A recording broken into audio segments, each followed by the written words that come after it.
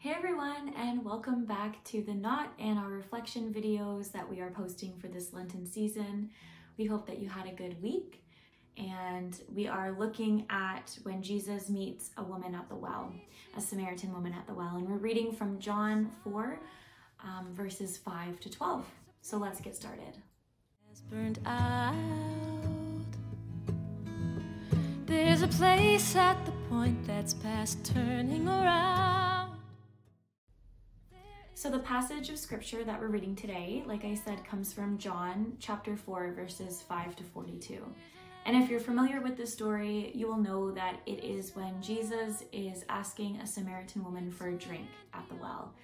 Um, he interacts with this Samaritan woman and asks her for a drink and if he if she would give him a drink. And there's a few things that I want to point out about this story. First, it says that Jesus had to go through Samaria to get to Jerusalem. If we read scripture, it says that Jesus wanted or had to go through this town called Samaria in order to get where he was going. And if you know the history between Samaritans and Jews, it's not a pleasant one. These were two groups of people who really did not get along. There was wars, there was vengeance, um, and there was rejection if you were a Samaritan person going into a Jewish land. So this was a really, really tricky situation for, for Jesus to ask his disciples and the people traveling with him to go through Samaria, a really dangerous place for Jews as they were walking through their land to get to Jerusalem. But it says that Jesus had to do this.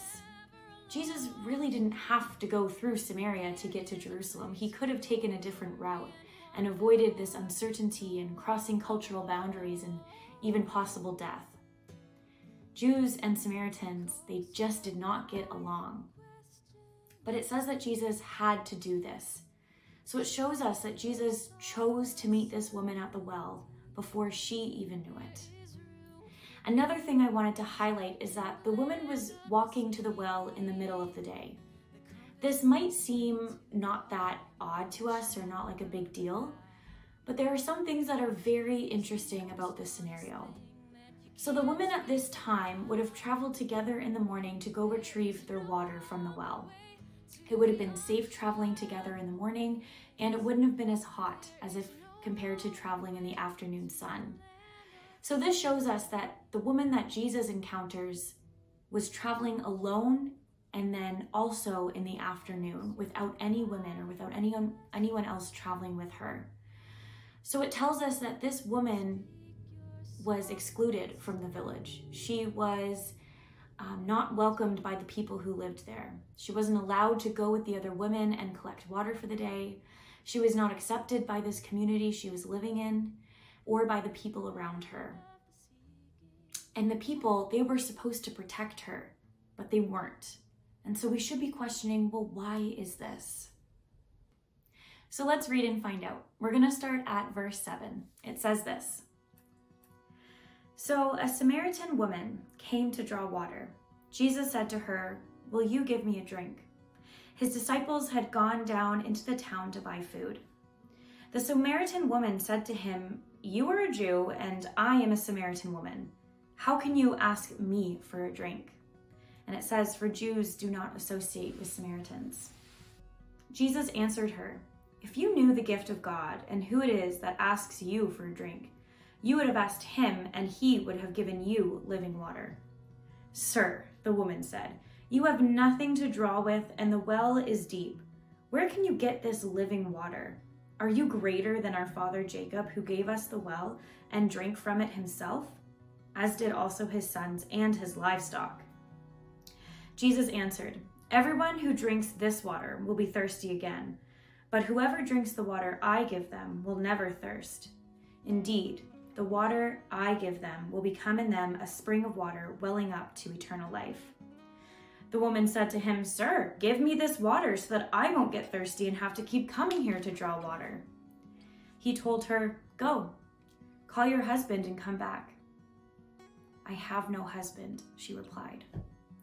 Jesus said to her, You are right when you say that you have no husband. The fact is, you have had five husbands, and the man that you now have is not your husband. What you have just said is quite true. Sir, the woman said, I can see that you are a prophet. Our ancestors worshipped on this mountain, but you Jews claim that the place where we must worship is in Jerusalem. Woman, Jesus replied, believe me, a time is coming when you will worship the Father neither on this mountain nor in Jerusalem. You Samaritans worship what you do not know. We worship what we do know, for salvation is from the Jews. Yet a time is coming and has come now when the true worshippers will worship the Father in the Spirit and in truth. For they are the kind of worshippers the Father seeks. God is Spirit, and his worshippers must worship in the Spirit and in the truth. So, if you're wondering why this woman wasn't able to travel with the other women to go and collect water, it says that she was rejected because she had had five husbands. This would have been a time when divorce was probably looked down upon. Men were the only source of protection for women. And so, when this woman had five husbands in her lifetime, we should be asking why. If you caught Jackie's message this past Sunday, you would have had heard that she said this woman was probably either abandoned by her previous husbands because she was barren, meaning that she couldn't have children. This changes how we look at the story, doesn't it? A whole town had rejected her because of this reason. Jesus had to go through Samaria to meet her, to ask her for a drink, and to show her that she is welcomed in his ministry, even if the town around her was rejecting her. Jesus had to tell her that she is loved and welcomed into the kingdom that Jesus proclaimed. We could talk about how Jesus crossed so many cultural boundaries by speaking to not only a woman, but also a Samaritan woman. But I think the most incredible part about this story is that Jesus went out of his way to meet this woman where she was at.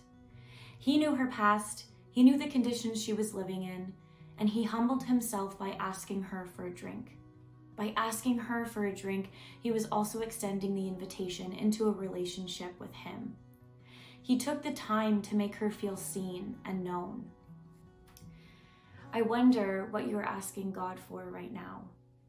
I wonder if you feel brave enough to ask Him for a drink from this living water. We should read this story with new eyes and new understanding. Knowing that Jesus went out of his way to meet this woman shows us that he goes out of his way to meet us. We don't have to clean ourselves up, look a certain way, live in a certain lifestyle. Jesus always shows up in the middle of our lives, asking us for a drink. But are you willing to give him one?